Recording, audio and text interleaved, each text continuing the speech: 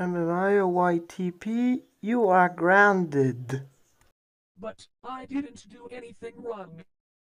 I don't care, you are grounded for nothing. Go to your room.